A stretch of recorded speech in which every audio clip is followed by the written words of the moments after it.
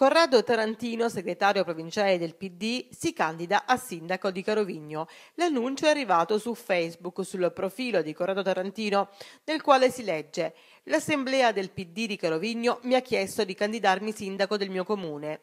È una di quelle decisioni che ti fanno tremare i polsi, scrive Tarantino, che non si possono prendere a cuor leggero perché candidarsi a fare il sindaco della propria città è una cosa seria, non è un gioco, soprattutto in una realtà come la nostra in cui la mala politica è diventata la prassi e non l'eccezione e in cui la differenza tra interesse privato e interesse pubblico è stata spazzata via.